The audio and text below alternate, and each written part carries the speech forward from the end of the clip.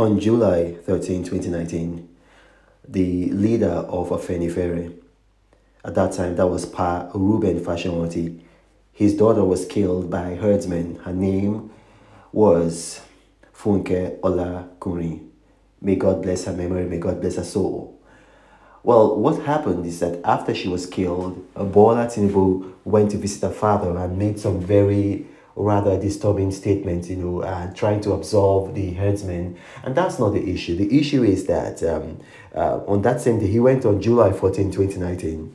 On the day he went there, uh, Femi Fani-Kayode, former Minister of Aviation, was so incensed, he was so livid with anger, and then he placed the chorus on Bola Tinubu. Now, I'm going to read what he said, you know, although you can see it on the screen. He said, He has become a slave to his ambition and a plague to his people. He is a shameless soul and wicked old man who is ready to sacrifice anyone and anything to become president.